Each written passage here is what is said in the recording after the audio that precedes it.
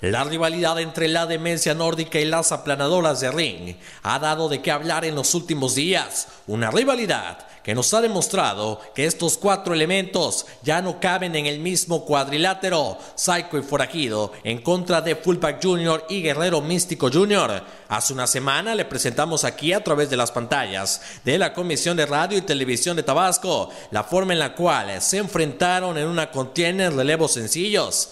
El odio empezó a traspasar fronteras y se retaron a un combate de revancha en modalidad super libre, la cual le presentamos en esta función.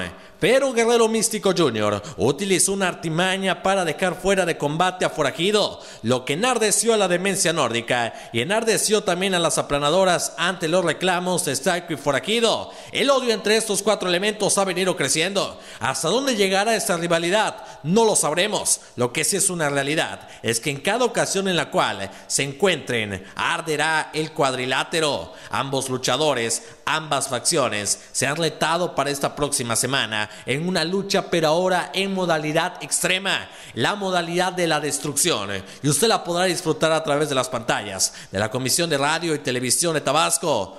Y viviremos precisamente hacia dónde llega toda esta rivalidad, todo este odio de los cuatro gladiadores.